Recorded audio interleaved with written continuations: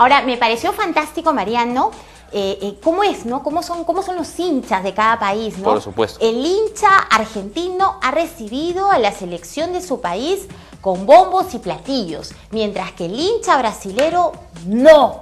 O sea, por poco les pegan a los pobres, ¿ah? Revisemos un poco el, el encuentro. No sé, yo diría que presentes tu proyecto a la AFA. Si vos viste el, partido, para el equipo partido. Por ahí Grondona te da bola. Yo vi un, partido donde se abre una pelota parada y después tenés que salir a remar, a remar con, con un gol en contra. Nada más. Y ellos, que cada vez que llegaron, tuvieron la posibilidad de meterla y nosotros no. O sea, no, yo no hablo de equipo partido, de equipo. No, el equipo jugó, jugó bien, no tuvo, no tuvo la, frescura necesaria como para, convertir y nada más que eso. Pero de, equipo partido nada. A pesar de no conseguir el objetivo, la gente demostró mucho afecto por este combinado y se agrupó en el Aeropuerto Internacional de Seiza para recibir al plantel de Maradona. La delegación albiceleste aterrizó a las 17.21 en un vuelo de aerolíneas argentinas proveniente del aeropuerto Oliver Tambo de Johannesburgo. Los trasladando a los jugadores, el cuerpo técnico que salió por la pista y se dirigió al predio de la N6, escoltado por los fanáticos vestidos con las camisetas argentinas. Una vez más, la hinchada argentina demostró todo su cariño por su ídolo, por Maradona, quien aún no ha definido si va a continuar o no al frente de la selección argentina. Muchas banderas del representativo nacional, fuegos artificiales para esta recepción de los jugadores que desde el micro saludaron a la gente. Una vez más, en el predio de Seiza los jugadores quedaron liberados para retirarse a sus respectivos hogares. Una muy bonita recepción del público argentino que quedó eliminado en cuartos de final una vez más y ante el mismo adversario de hace cuatro años, en 2006, justamente la selección alemana. Con el mismo esquema rígido que Brasil mostró en Sudáfrica, un riguroso dispositivo de seguridad recibió este domingo por la madrugada al Scratch en el aeropuerto Antonio Carlos Jobim de Río de Janeiro. Pero esa táctica de la policía, al igual que la de Dunga, no funcionó. Y el arribo terminó convirtiéndose en tumulto. Roberto, por ejemplo, fue encerrado. Jorginho também, aunque conseguiu passar em meio da multitud. Eu sei que o sentimento hoje da torcida brasileira é de muita tristeza, assim como o nosso também, porque a gente acreditava muito nesse ex. Uno de los apuntados fue el médico del plantel, José Luis Runco, a raíz del bajo nivel que mostró Kaká, quien se fue del Mundial con la misma imagen pobre que mostró en el Real Madrid la última temporada. Diria para vocês que o Kaká, se fosse uma outra situação, talvez ele nem jogasse a Copa do Mundo. É porque ele se dedicou muito, o trabalho foi muito sério e ele rendeu o que foi possível. Brasil acumula dos mundiales consecutivos sin semifinales. En el arribo, Thiago Silva confesó lo que Dunga les pidió en el vestuario tras la eliminación. Pediu que a gente mantivesse a cabeça erguida, a tranquilidade, que não era pra gente sair de cabeça baixa, porque a gente foi um time é, lutador até o final.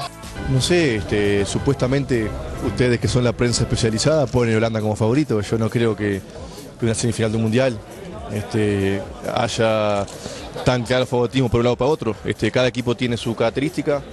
Este, sin duda Holanda y Uruguay este, juegan de una manera diferente, pero luego llegamos hasta aquí por, por mérito.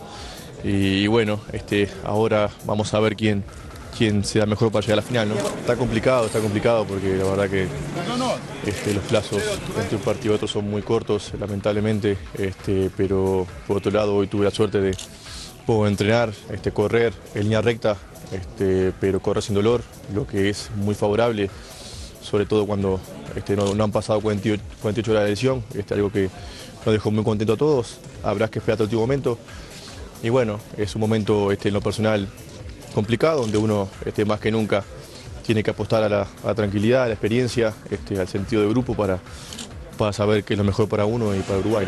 Holanda, un, una, gran, una gran selección, con dinámica, exuberancia física, muy buen juego colectivo y individualidad de, de muy buen nivel. Eh, pero bueno, humildemente nosotros creemos que tenemos argumentos futbolísticos como también para darle pelea y, poder pensar en ganar. Eh, creo que Paraguay dejó todo dentro de la cancha, jugamos un gran partido y, creo que no estamos yendo con la cabeza en alto. Eh, me siento un poco mal de, haber erra- errado el penal y les digo otra vez, si yo metí el, penal, creo que creo que iba a ser la, las cosas diferentes. Y al llegar a la pelota, creo que bajé la cabeza y no, no, no le miré más al arquero, pero tuvo mucho mérito también porque se tiró muy bien. No hay otra cosa que no se me pase por la cabeza que imágenes del partido, ¿no? Y ver si podemos volverlo atrás para, para ver si podemos cambiar algo, pero ya es tarde. Lo que había que hacer lo hemos hecho y, y es muy difícil hablar de, de la situación.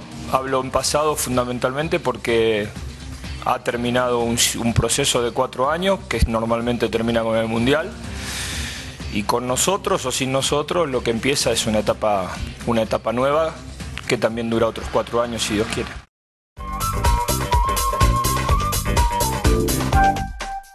lo que origina el fútbol, ¿no? Pese a la derrota, los argentinos con banderas y todo han salido a recibir a sus jugadores y los brasileños un poco más y hasta el médico, ¿no? Que a quien se le acusa de que no, digamos, eh, llevó bien a Kaká al Mundial, lo querían ahí Linchar, linchar. A mí lo que me da tristeza realmente, Mariano, y te lo comentaba antes del programa, es ver cómo los hinchas argentinos se pueden burlar de la gente de Brasil, cómo después, tras la salida de Argentina, los brasileños también se burlan. de- o sea, ¿por qué? Qué feo, porque al final es Sudamérica. Tenemos Bueno, es que pensar en que somos sudamericanos, sí, pero Es estamos una que en un mundial en de fútbol, ¿no? Entonces, no sé, a mí no me parece, no, no me parece. Bueno, al final las dos selecciones quedaron eliminadas, entonces los dos tendrían que estar tranquilitos y guardar silencio, creo yo. Dicen que la maldición de Brasil le cayó a Argentina, pues, ¿no?